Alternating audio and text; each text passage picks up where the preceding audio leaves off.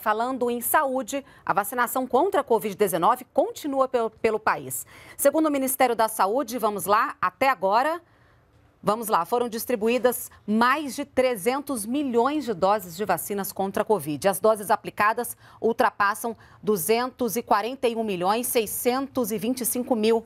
147 milhões 674 mil pessoas tomaram a primeira dose e o número de brasileiros que tomaram a segunda dose ou dose única é de 93 milhões 951 mil pessoas. E a dose de reforço foi aplicada em 1 milhão 185 mil pessoas.